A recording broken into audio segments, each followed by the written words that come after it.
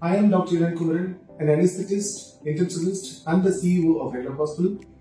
Today, I'm going to test the capabilities of ChatGPT from a doctor's perspective by throwing 10 tasks to ChatGPT. Doctors do many things in a given day. They see patients in the clinic. They might need diagnosis. They might need to check whether any new investigations have come into place. They might want to treat a patient. They will admit patients. They might do surgeries. They go and see patients in the post-operative ward.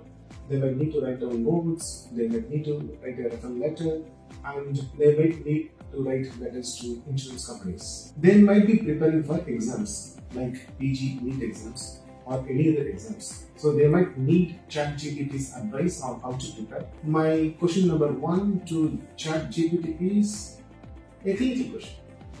A 40 year old gentleman, Mr. Sharma, presented with upper abdominal pain, fever for the last three days. What could be the potential diagnosis? We'll see what response ChatGPT gives. It looks interesting. Yeah, from a junior doctor's perspective, um, the response is reasonably impressive because it might guide junior doctor in an appropriate way. It gives uh, a differential diagnosis of appendicitis, cholecystitis, and pancreatitis.